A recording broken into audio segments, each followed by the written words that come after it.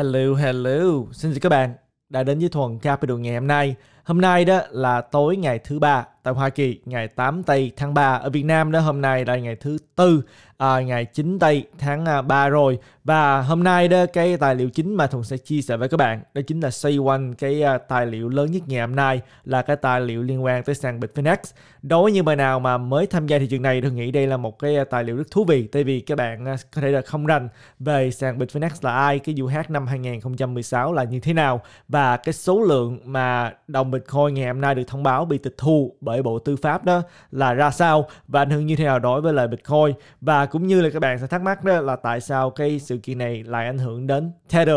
Và những mà nào mà đã biết về những thông tin này đó, tôi sẽ chia sẻ thêm những thông tin thú vị hơn với các bạn liên quan đến là sàn Bitfinex đã nói gì ngày hôm nay và tại sao chúng ta thấy là đồng Leo token lại tăng trưởng mạnh như vậy lúc mà Trước khi làm video này đó, thì đồng Leo token đã tăng hơn 55% rồi. Tại sao lại có hiện tượng này xảy ra?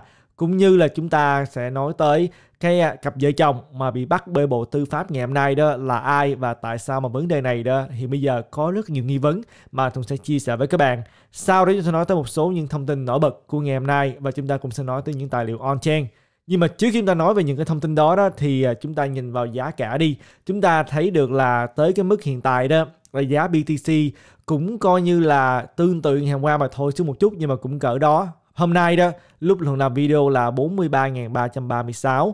Các bạn đã nhớ là hôm qua lúc làm video là khoảng 41.100 đô. Nhưng mà hồi sáng này đó giá của BTC đã có đợt lên tới 45.520 trước khi mà chạy chỉ xuống ở mức là 42.700 sau đó đây ngược trở lên là 44.435 rồi ngược trở xuống ở cái mức hiện tại là khoảng 43.321 và chúng ta nhìn chung á, chúng ta sẽ thấy được là hôm nay chúng ta sẽ thấy màu đỏ xuất hiện. Và có nhiều đồng thì đỏ hơn, nhưng mà phần lớn thì cũng là đỏ lợt mà thôi.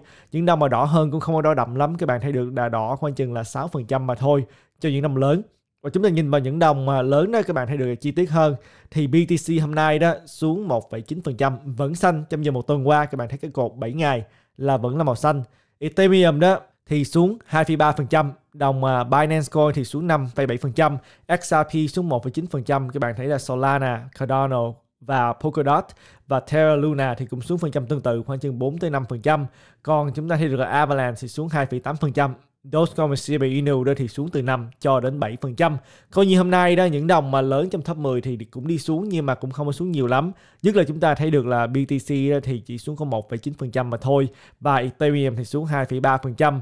Nhiều bạn đó thì đây comment nói là Bitcoin sập rồi. Các bạn thấy được là BTC cách đây 2 tuần chỉ có là 32.900 đô mà thôi. Trong vòng 2 tuần đã đẩy lên tới à, 45.000 rồi. Các bạn thấy được là đâu có gì mà lên mãi liên tục như vậy được chúng ta thấy được BTC đó hôm nay lên tới mức là 45.500 đô. Rồi chúng ta thấy được đã bị khựng lại ở mức hiện tại. Nhưng mà điều này cũng đã từng xảy ra nhiều lần rồi. Các bạn thấy được những cái đợt tăng trưởng của BTC điều là như vậy.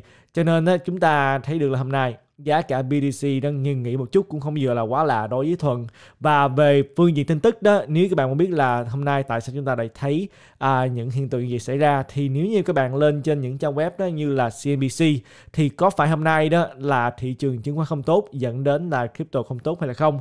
Thì cũng không hẳn đâu các bạn. Các bạn đã thấy được trên màn hình đó hôm nay phần lớn chứng khoán rất là xanh. Và chúng ta nói đến những chỉ số Hoa Kỳ đó các bạn sẽ thấy là chỉ số Dow Jones, chỉ số S&P 500 và Nasdaq toàn là màu xanh ngày hôm nay và chúng ta thấy được là cái ờ, tài liệu liên quan tới hợp đồng tương lai bây giờ cũng là màu xanh. Cả ba chỉ số này vẫn là màu xanh ngày hôm nay có nghĩa là chứng khoán hôm nay vẫn rất là tốt. Thì nếu chúng ta nói tới những gì mà xảy ra hôm nay đó thì tôi có thể chia sẻ hai cái thông tin với các bạn. Trước hết chúng ta nói tới à, cái tài liệu liên quan đến cái số lượng lệnh bị thanh lý ngày hôm nay.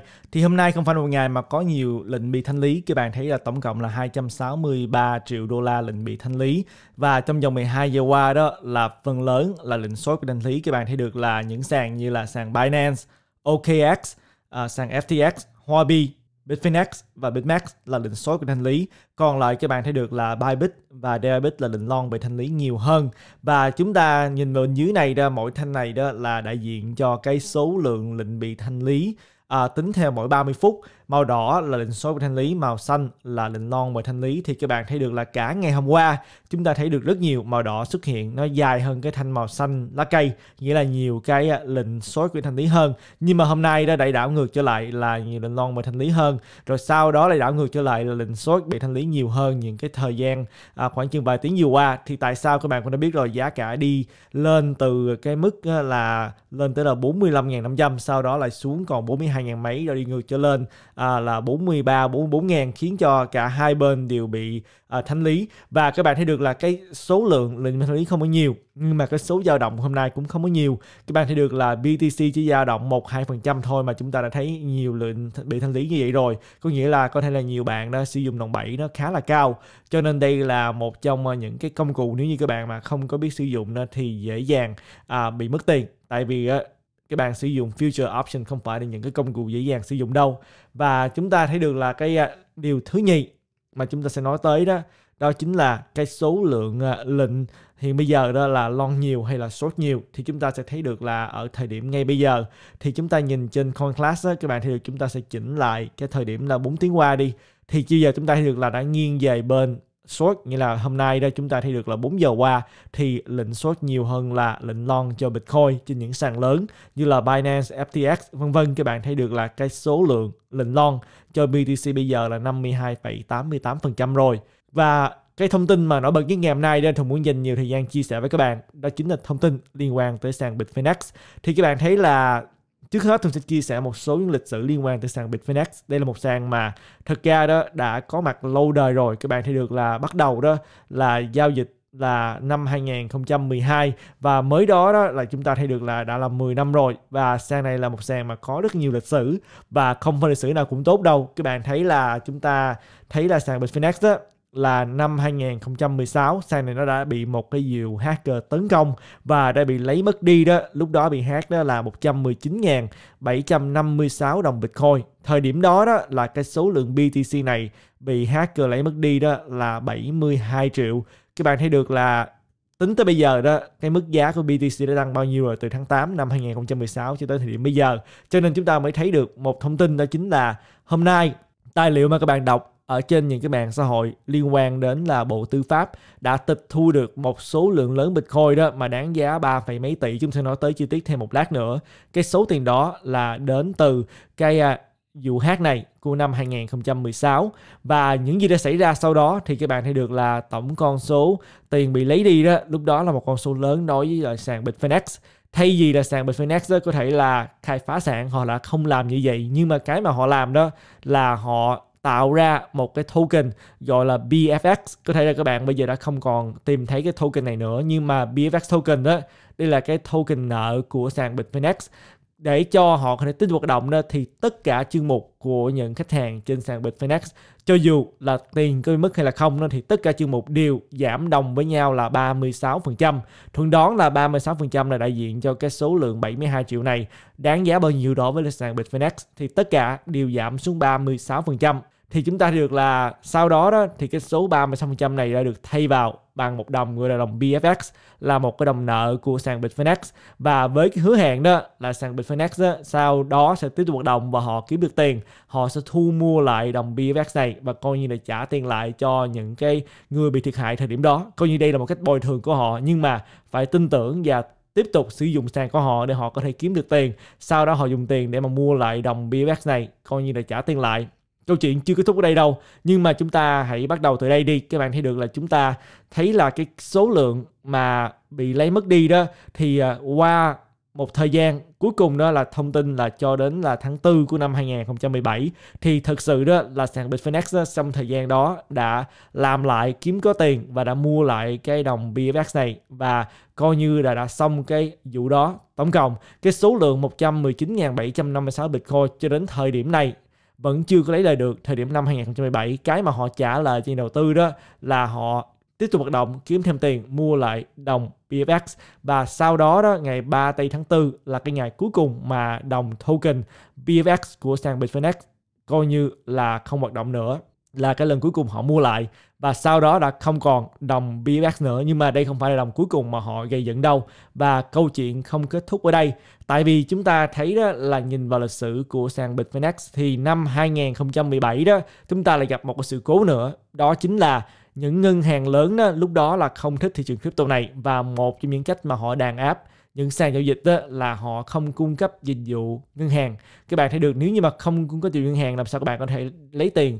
Trong ngân hàng các bạn để mà đẩy vào trong thị trường này được, cho nên đó là một vấn đề rất khó khăn. Và đương nhiên mỗi một cái à, công ty đó, các bạn thấy được, đều cần phải có kế toán, kiểm toán, họ cần phải có thu nhập tiền ra vô, cho nên đều cần ngân hàng. Nhưng mà những ngân hàng lúc đó lại không muốn làm việc với họ. Và đối với lại vấn đề của sàn Bitfinex thì ngân hàng Wells Fargo năm 2017 hồi tháng 4 đó, đã coi như là cắt, không có tiếp tục hoạt động như họ nữa.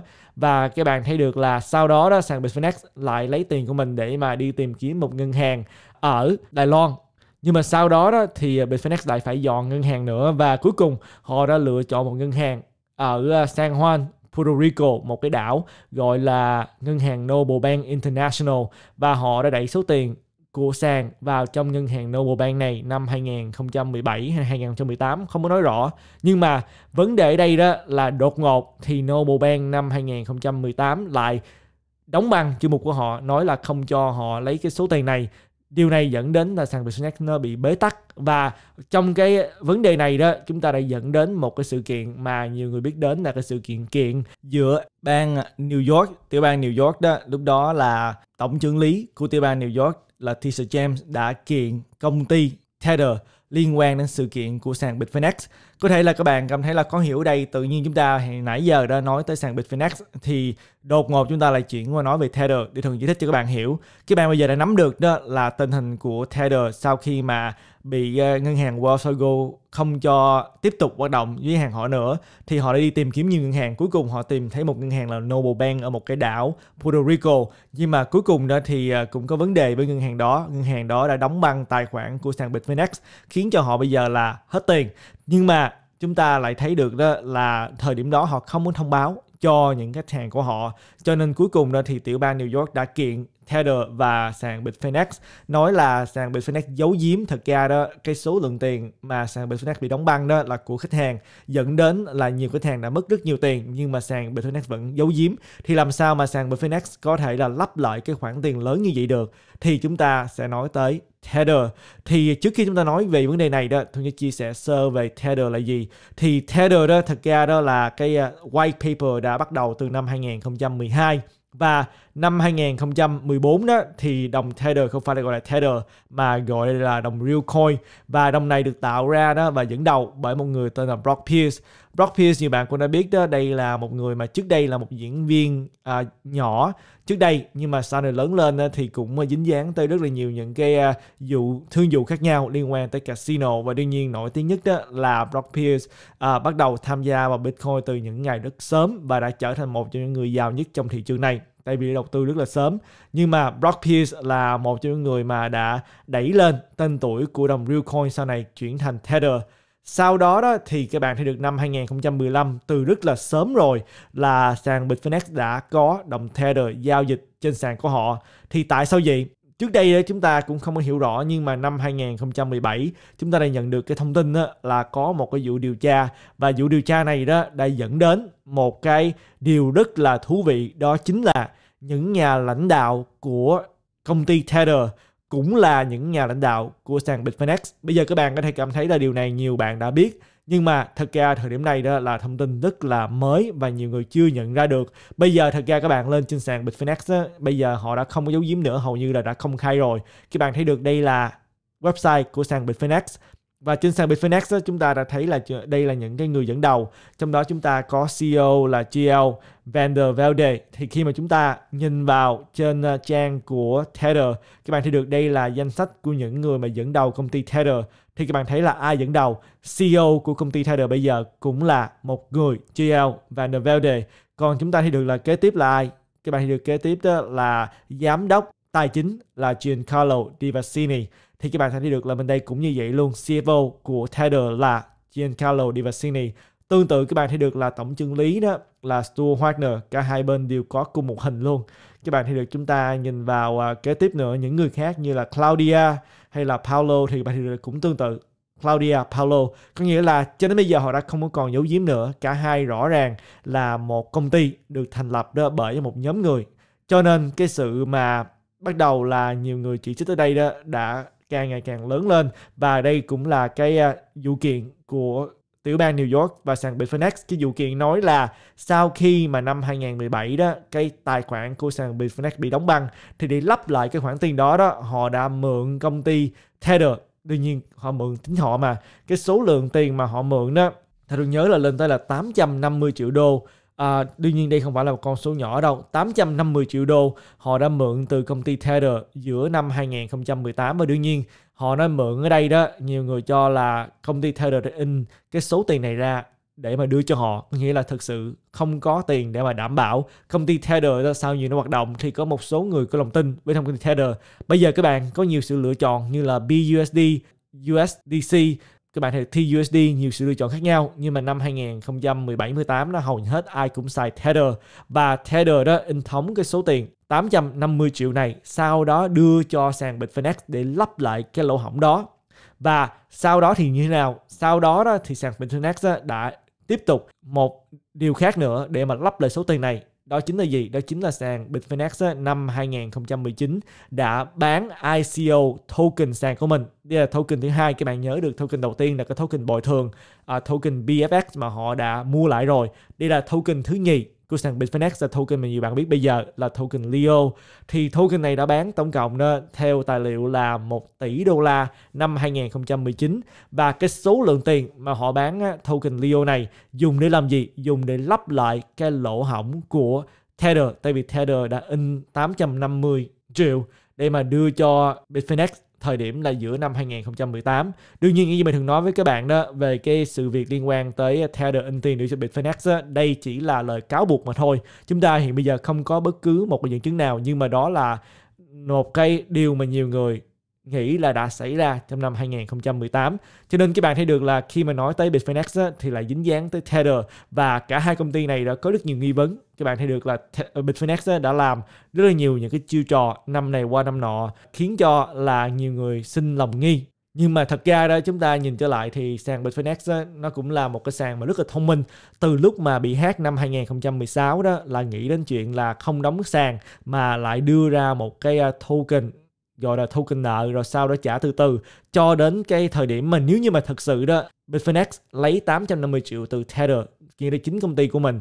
Rồi sau đó đó, số tiền này đương nhiên là tự in ra, rồi sau đó lắp lại lỗ hổng, rồi sau đó bán 1 tỷ đô la đồng Leo rồi lắp lại cái ờ, mức 850 triệu này. Thì giống như là họ tự in tiền ra từ ờ, không khí gì đó. Các bạn thấy được là nếu như đây là sự thật thì họ rất là thông minh. Nhưng mà cái phần liên quan tới uh, Tether và Bitfinex á, cho mượn tiền lẫn nhau đó đó chính là lời cáo buộc của tiểu bang New York mà thôi chúng ta không có bằng chứng đây là sự thật nhưng mà thật cũng muốn chia sẻ với các bạn ở đây. Rồi đó là những gì đã xảy ra chúng ta bây giờ hãy chuyển qua để mà nói tới tài liệu ngày hôm nay đi.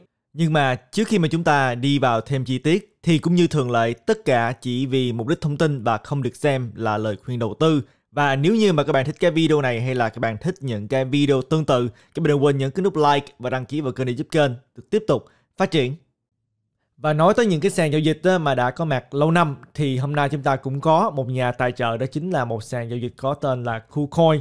Thì có lẽ đó chúng ta cũng không cần phải dành quá nhiều thời gian để mà nói về KuCoin tại vì hầu hết đó, các bạn đều đã biết và đã nghe nói đến sàn này rồi. Đây là một trong năm sàn crypto hàng đầu Việt Nam với hơn là 600 loại tài sản kỹ thuật số và hơn 1.000 cặp giao dịch đang được giao dịch mỗi ngày.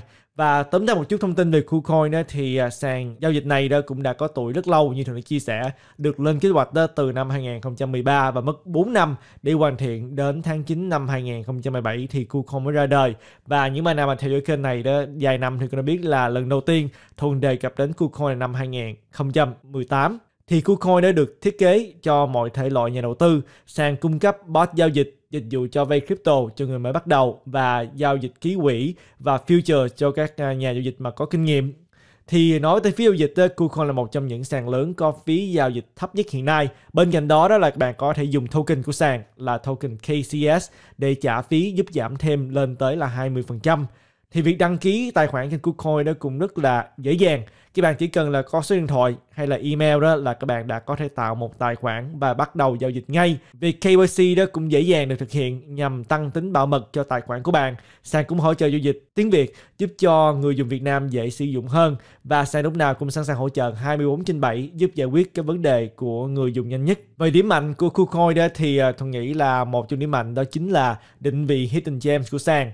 Thực sự đó thì các bạn thấy được là KuCoin là một sàn mà niêm yết sớm rất là nhiều đồng. Khi mà những đồng này chưa được list trên nhiều sàn khác nhau mà nhiều người biết đến đó, điển hình chúng ta thấy là những đồng như là Luna đã đạt đỉnh hơn 1.000 lần và KSM đã tăng hơn 500 lần từ lúc mà những đồng này được niêm yết trên sàn KuCoin. Ngoài ra đó thì một chuyện tính năng rất hay của sàn KuCoin đó là các sự kiện Spotlight.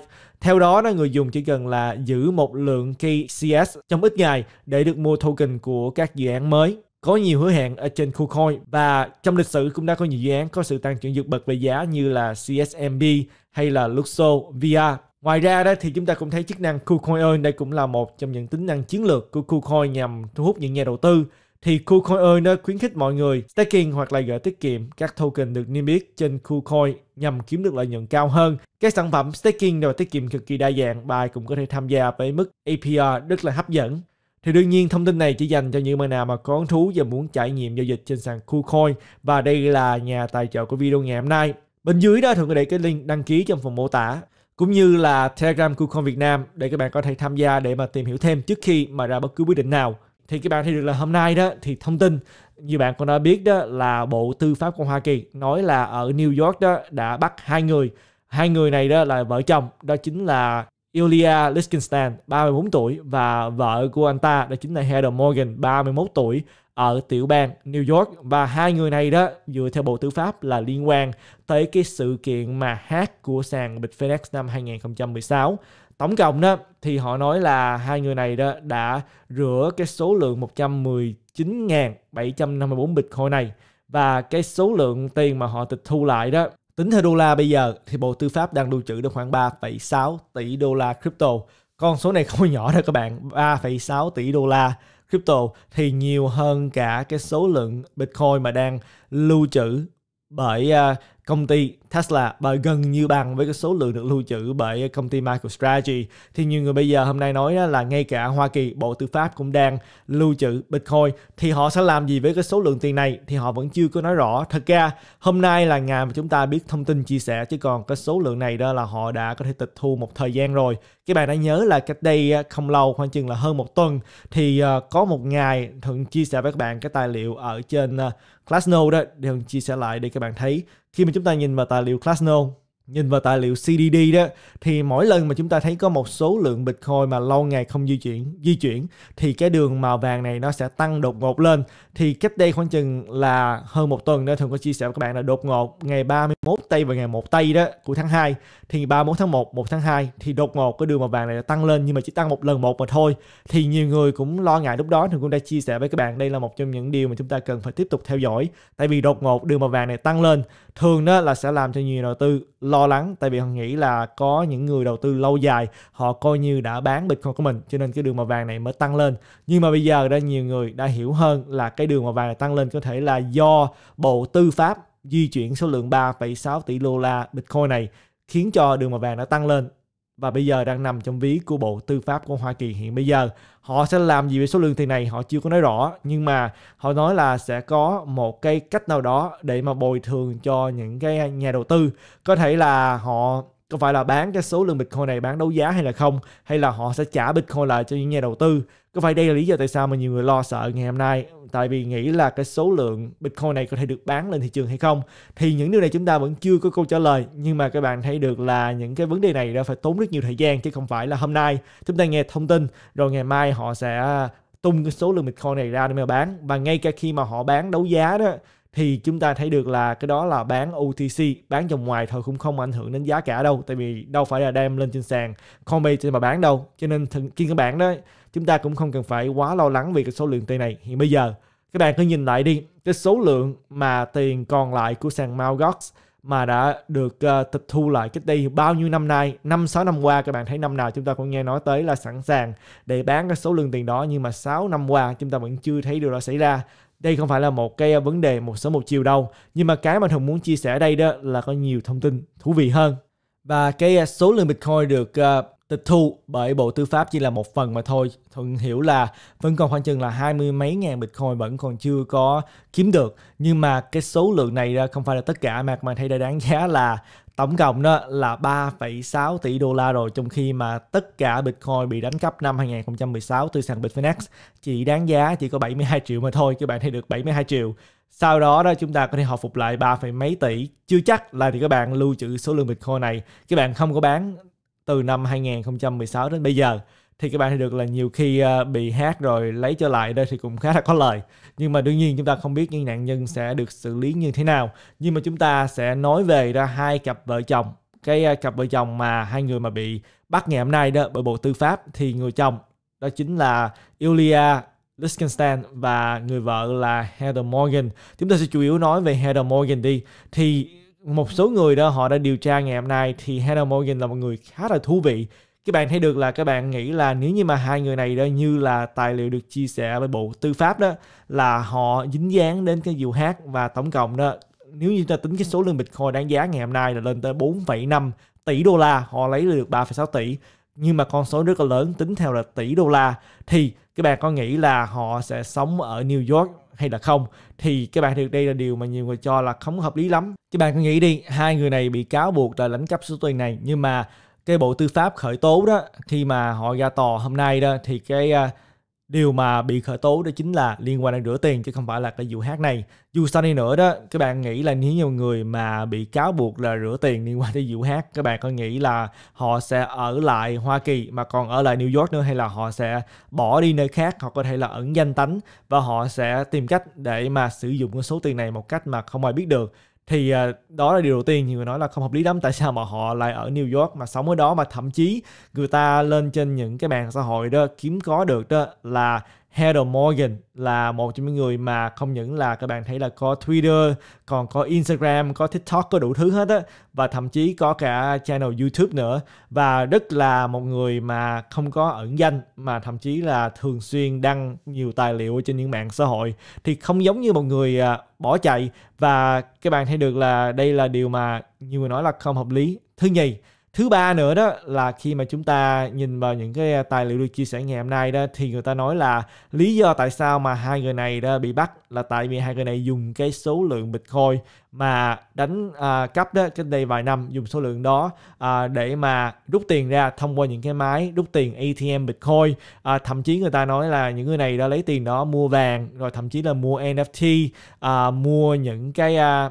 thẻ quà tặng ở những chợ như là Walmart thậm chí người nhiều người nói là à, dùng cái số lượng Bitcoin này để mà trả những cái phí như là à, VPN mà không cần ẩn danh của mình luôn. Có thể là dùng tên thật và địa chỉ thật của mình để mà trả phí VPN sử dụng Bitcoin mà mình đã đánh cắp.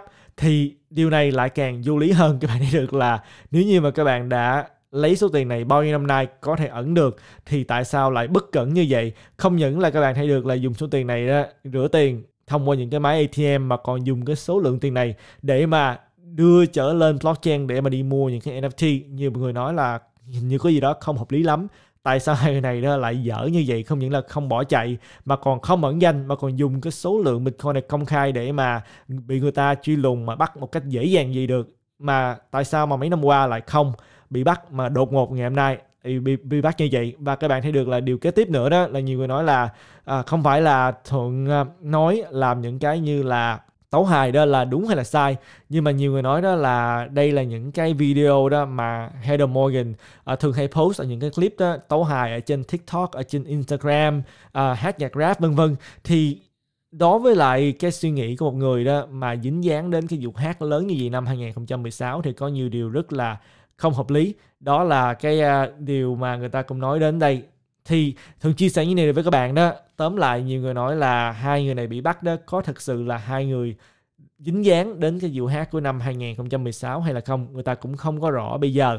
Và cho dù gì nữa đó có phải là bộ tư pháp đang che đậy cái gì đó hay là không? Có phải hai người này chỉ là hai người đứng ra để mà coi như là vô tù thế cho những người mà thực sự đã đánh cắp cái số lượng bitcoin này hay là không? Và có phải là có ai đã đứng sau lưng? Thậm chí là nhiều người nói là có thể là bộ tư pháp đứng sau lưng cái vụ hát này. Tất cả đều là một câu hỏi hiện bây giờ. Cái mà thường chia sẻ với bạn. Đây là một cái tài liệu rất là thú vị mà khi mà có thêm cập nhật thường sẽ chia sẻ với các bạn. Điều thú vị kế tiếp đó là các bạn thấy được là cái đồng Leo của sàn Bitfinex đã tăng 55% ngày hôm nay. Thì à, tại sao đồng này lại tăng như vậy? Thì đồng này tăng nhưng mà với một cái lý do tôi cảm thấy là vô cùng không hợp lý. Tại vì đó, sàn Bitfinex sau khi mà nghe nói thông tin, đây là cái trang web của sàn Bitfinex thì sàn Bitfinex sau khi nghe thông tin là Bộ Tư pháp đã tịch thu cái số lượng Bitcoin này, thì à, trên trang web của sàn Bitfinex họ để, đây là ngày 8 tây tháng 2 nghĩa là ngày hôm nay tại Hoa Kỳ, họ để đó là họ trước hết là chúc mình đã có thể là thành công tịch thu được cái số lượng Bitcoin này. Và sàn Bitfinex nói đó là nếu như mà họ có thể lấy được cái số tiền này, họ sẽ làm việc với à, Bộ Tư pháp để mà lấy cái số tiền Bitcoin này trở về. Tại vì họ nghĩ là đây là số tiền Bitcoin đánh cắp từ sàn của họ. Họ sẽ điền đơn để mà lấy lại cái số lượng tiền này. Nhưng mà họ lấy lại cái số lượng tiền này để đi làm gì? Trước hết á thường không nghĩ là họ sẽ lấy lại đâu. Thường nghĩ là bộ tư pháp sẽ tự giải quyết cái số lượng tiền này. À, có thể là họ sẽ tự làm một trang web để mà trả lại cho những nhà đầu tư chứ không có đưa lại cho cái uh, sàn uh, Bitfinex này đâu. Một sàn mà Hoa Kỳ đã từ lâu có nhiều dấu chấm hỏi rồi mà đây là một số tiền rất lớn như vậy. Nhưng mà cho dù là lấy lại được đi nữa đó thì sàn Bitfinex sẽ làm gì? Có phải họ sẽ tự trả cái số Bitcoin này cho cái thẻ của họ hay là không? Thì sàn Bitfinex nói là không. Khi mà nếu như mà lấy lại cái số lượng Bitcoin này đó trước hết á, là họ sẽ trả bằng đồng Leo. Có nghĩa là họ lấy lại Bitcoin nhưng mà họ sẽ đưa đồng Leo cho những cái nạn nhân. Có nghĩa là các bạn thấy là đồng mà họ tự in ra đó họ sẽ đưa đồng Leo cho những nạn nhân. Rồi sau đó trong vòng 18 tháng họ sẽ dùng 80% của cái số lượng 3,6 tỷ đô la đó để mà mua lại đồng Leo. Rồi đốt đi. Các bạn thấy được là có nghĩa là họ sẽ giữ 20% cho bản thân của họ. Các bạn nghĩ đi 3,6 tỷ giữ 20% là con số lớn cỡ nào rồi? À, đây là một điều mà nhiều người nói là cực kỳ không hợp lý. Và không biết lý do gì đó, các bạn thì được là những lời nói này đã dẫn đến nầm Leo lại tăng lên 55%. Thị trường này thực sự là có nhiều điều rất là khó hiểu. Đây là những thông tin mà lớn nhất ngày hôm nay liên quan tới sàn Bitfinex mà thường muốn chia sẻ với các bạn. Chúng ta bây giờ hãy chuyển qua nói tới một số những cái thông tin ở bậc khác ngày hôm nay đi. Thực ra cũng không nhiều thông tin lớn lắm đâu. Cái thông tin thường cảm thấy là lớn nhất đó chính là thông báo đến từ Cash App. Cash App là một cái ứng dụng rất là lớn ở Hoa Kỳ, nhiều người sử dụng. Thì à, Cash App nói là sẽ hỗ trợ sử dụng mạng lưới Lightning Network ở trên Cash App. Đây là một trong ờ, những cái thông tin rất là lớn. Mạng lưới Line Network đó, năm ờ, 2022 và năm ngoái đó là một mạng lưới mà được đề cập đến rất là nhiều. Và các bạn thấy đây là một cái mạng lưới mà ngày càng được sử dụng nhiều hơn. Kế tiếp đó là các bạn thấy là cái thông tin mà nhiều nhà đầu tư vẫn tiếp tục đang chờ đón, đó chính là thông tin ngày thứ năm, cái t hai ngày nữa. Thì ờ, ngày thứ năm đó tuần này sẽ là ngày mà chúng ta thấy thông báo lạm phát của Hoa Kỳ được chia sẻ và thường đã chia sẻ với bạn rồi cái ờ, thông báo tháng vừa rồi đó là phần trăm lạm phát của Hoa Kỳ trong vòng một năm là 7%. Bây giờ chuẩn đoán của tuần này đó là, là sẽ thông báo trong vòng một năm đó là lạm phát tăng một chút, tăng lên 7,2%. Nếu như mà phần trăm lạm phát tăng ít hơn 7,2% thì sẽ rất tốt cho thị trường. Nếu như mà phần trăm lạm phát tăng 7,2% có nghĩa là Fed sẽ có thể tăng lãi suất mạnh hơn, thị trường sẽ không được ổn. Đó là những gì mà chúng ta sẽ chờ đón trong vòng 2 ngày nữa. Kế tiếp đó là cái à, thông tin liên quan tới à, công ty Wells Fargo. Các bạn thấy là Wells Fargo đã từ đâu chống đối với lại crypto và Bitcoin. Nhưng mà bây giờ Wells Fargo đã nói là sẽ không có quá trễ nếu như các bạn muốn đầu tư về Bitcoin và crypto hiện bây giờ. Công ty à, Wells Fargo là ngân hàng lớn thứ ba tại Hoa Kỳ đã chia sẻ trong một cái bài nghiên cứu và Wells Fargo nói là crypto đó, đối với lại ngân hàng Wells Fargo thì tương tự như là internet, vào giữa đến cuối năm 1990 có nghĩa là sẽ có một cái sự tăng trưởng mạnh về cái số lượng người sử dụng, và Bitcoin crypto đó sẽ đi vào điểm siêu chấp nhận. Đó là cái à, lời nói của Wells Fargo và điều đặc biệt hơn thì không có đăng ở đây đó là Wells Fargo nói là, nhưng mà đừng có nên lên trên cái sàn giao dịch mà mua Bitcoin, mà hãy đến Wells Fargo để mà sử dụng dịch vụ của họ để mà mua các bạn thấy là à, lý do tại sao họ nói tại vì mua Bitcoin bây giờ đó rất là khó mua và rất là khó hiểu cho nên cứ đưa tiền cho họ đi. Cái đó là họ nói ngày hôm nay. Đương nhiên các bạn thấy được là rất là mắc cười tại vì mua bitcoin bây giờ cực kỳ dễ dàng. Các bạn có thể tạo chương mục trong vòng vài phút là mua được bitcoin rồi. Kế tiếp đó là cái à, thông tin. Các bạn thấy được là càng ngày đó thì à, bitcoin càng được sử dụng như là một cái à, công cụ quyên góp. Các bạn thấy là gần đây chúng ta đã thấy rất là nhiều những bitcoin đã đổ vào nước Ukraine à, để mà quyên góp cho nhiều cái nhóm người khác nhau về cái sự việc là Ukraine đang khẩn cấp để mà chuẩn bị đối đầu với lại nước Nga. Và cái số lượng lính nước Nga đã đang để ở trên cái biên giới giữa Nga và Ukraine. Và các bạn thấy được là Bitcoin là một trong những công cụ mà có thể là đi xuyên biên giới một cách dễ dàng. Tiền Bitcoin có thể đến tay của người nhận rất nhanh chóng mà không cần phải uh, có một cái công ty thứ ba nào không cần uh, phải sợ bất cứ một ai có thể chặn được cái số tiền đó. Và gần đây các bạn thấy được là chúng ta cũng có một cái sự kiện uh, liên quan đến uh, Freedom Trucker hay còn gọi là uh, Freedom Convoy đó. Đây là một sự kiện xảy ra Canada thường sẽ không có nói quá nhiều tại vì đây là một sự kiện mà cũng gây nhiều cái sự tranh cãi liên quan đến chính trị và dịch bệnh. Thường chỉ có thể chia sẻ với các bạn đó là cái sự kiện này là một sự kiện mà nhiều người mà lái xe truck đó họ đã đứng lên biểu tình và họ nhận được một số tiền quyên góp đến từ GoFundMe, nhưng mà GoFundMe đó đã à, đưa ra thông báo là sẽ không có chấp nhận để cho người khác quyên góp cho họ nữa. Và sau đó thì Bitcoin đã là cái sự lựa chọn trong cái à, sự kiện này. Và cuối cùng đó chúng ta hãy nói tới một số những thông tin on chain đi. Và hôm nay đó các bạn thì được trước hết chúng ta nhìn vào cái số lượng bitcoin đang có lời bây giờ là bao nhiêu phần trăm. Thì dựa theo Glassnode ngày hôm nay đó để hình zoom vào các bạn thấy được tuy là giá cả có cái à, sự điều chỉnh một chút. Để thông refresh lại xem coi có thông tin mới hơn hay là không. Nhưng mà Thuận thấy được là cái số lượng Bitcoin có lời đó vẫn à, không có cao lắm cũng là 75% nhưng mà cũng à, cao hơn ngày hôm qua. Kế tiếp đó chúng ta nhìn vào những tài liệu khác thì các bạn thấy là hôm nay à, lại tiếp tục thấy một cái sự đi xuống liên quan tới những lình đòn 7 nữa. Đó là điều chúng ta muốn thấy. Thực ra chúng ta không muốn thấy lình đòn 7 cao quá đâu. Còn về cái số lượng Bitcoin nạp vào rút ra đó thì những bài nào mà theo dõi kênh Telegram uh, alert thì cũng đã thấy được là hôm nay hầu như là liên tục có lúc Bitcoin nạp vào nhiều hơn, có lúc là dấu hiệu thu mua sử dụng đồng ổn định nhiều hơn. Nhưng mà chúng ta nhìn chung hôm nay đó thì trước hết, kết thúc ngày hôm qua, các bạn thấy là tiếp tục là màu màu đỏ, có nghĩa là kết thúc là một cái điểm mà có nhiều bitcoin rời khỏi hơn là nạp vào, nhưng mà cũng không có thay đổi nhiều lắm. Chúng ta chuyển qua tính theo giờ đi. Thì à, tính theo giờ các bạn sẽ thấy được là hôm nay phần lớn vẫn là bitcoin rời khỏi sàn nhiều hơn là nạp vào. Chúng ta tiếp tục nhìn vào tài liệu tương tự liên quan tới ethereum, thì chúng ta thấy được là tính theo ngày thì cũng tương tự như btc hôm qua cũng là một ngày mà có nhiều ether rời khỏi hơn là nạp vào, nhưng mà cũng rất ít mà thôi. Không có gì đáng à, để nói hết, nhưng mà chúng ta chuyển qua tính theo giờ. Thì tính theo giờ đó, hôm nay như thế nào? Mỗi thanh là một giờ thì cũng tương tự như BTC là một ngày mà chúng ta thấy có nhiều giờ, nhiều ether rời khỏi hơn nền nạp vào. Và đây là thông tin on chain mà thường muốn à, chia sẻ với các bạn trong video ngày hôm nay. Đồng hành cùng chúng ta trong video ngày hôm nay đó đó chính là Coin98 Wallet. Đây là cái ví tiền mã hóa multi chain như là đa chuỗi đó, giúp các bạn có thể lưu trữ coin token trên hơn 30 blockchain khác nhau mà chỉ với một cái passphrase duy nhất mà thôi. Ngay trên cái ví Coin98 đó các bạn có thể swap, mua bán token một cách nhanh chóng, tiện lợi và các bạn còn được tặng điểm thưởng mỗi lần mà các bạn swap. Các bạn có thể tìm hiểu và tải cái ứng dụng Coin98 Wallet ngày hôm nay và nhập cái mã giới thiệu để ủng hộ kênh.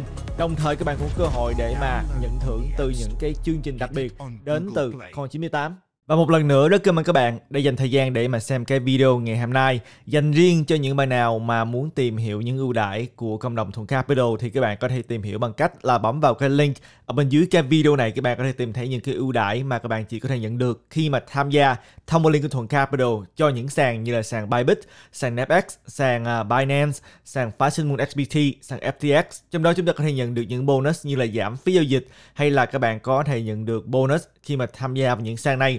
Và những bên nào mà ở Hoa Kỳ đó thì có thể tìm hiểu những sàn như là sàn Coinbase và sàn Binance US. những mà nào mà thích gửi tiền kỹ thuật số để mà lấy lãi hàng tháng thì có thể tìm hiểu những ứng dụng như là Nexo hay là BlockFi. Và đương nhiên, Crypto One ứng dụng phân tích hỗ trợ biểu đồ và dữ liệu on-chain mà chúng ta thường hay sử dụng. Tất cả những thông tin chi tiết các bạn có thể tìm thấy bên dưới cái phần mô tả của video này. Và Thuận sẽ hẹn gặp lại các bạn trong cái video kế tiếp. Tạm biệt các bạn.